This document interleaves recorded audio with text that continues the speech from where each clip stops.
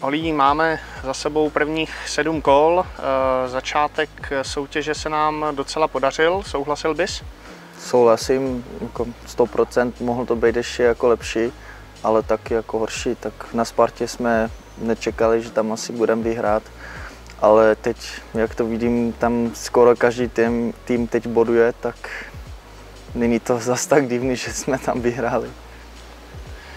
Ty sám pravidelně nastupuješ, s tím asi musíš být taky spokojen.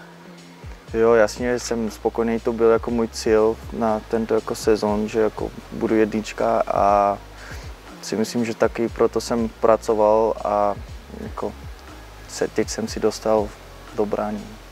A jak jsi spokojen se svými výkony v brance?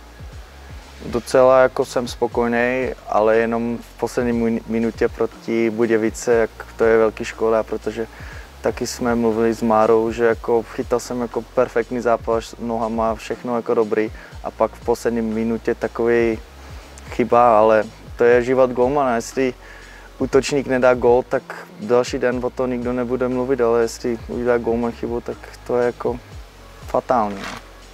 Teď ten poslední zápas proti Plzni moc si při něm nezachytal. Jaké to pro tebe bylo sledovat, jak kluci dobývají plzeňskou obranu?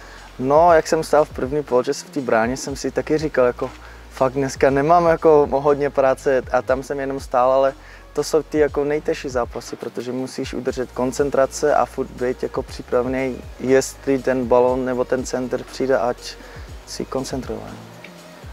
Teď máte dva takzvané anglické týdny, hráli jste ve středu i ligu, bude vás potom čekat pohár, tak je to rytmus, který ti vyhovuje, nebo máš raději větší rozestup mezi zápasy? Mm, já mám radši větší rozestup, protože si můžu jako na sebe pracovat v posilovně a udělat jako něco navíc. A jestli hrajem jako neděli, v středu a v sobotu, tak na to moc čas jako není. Teď nejbližší ligové utkání nás eh, čeká v Dělíčku, tam se nám příliš nedaří poslední dobou, tak co udělat pro to, aby se to zlomilo? Já tam mám jako dobré vzpomínky, tak já jsem si tam pochytal první zápas a udržel jsem hned nulou, první a poslední, tak doufám, že to zase jako můžu udržet tam nulu a vyhrajeme. No. Sám si to zmínil, výkony jsou dobré, ale ty duly tam ne, ale padat letos, tak je to o to větší motivace udržet? Jo, to je 100%. To už na to se těším pět nebo šest kol, ať udržím nulu. No. Po zápase na Bohemians nás eh, bude čekat souboj v Molkapu. Eh, Rokicany se hodně snaží promovat ten zápas, zejména na Twitteru. Dokonce natáčeli eh, video pro tebe a pro Bika. Dostalo se to k tobě a co říkáš na to? Jo, jako to udělali hezky, ale to úplně jako nemuseli, protože už mluvím česky a tak holandsky jako taky rozumím, ale po česky jako taky můžu.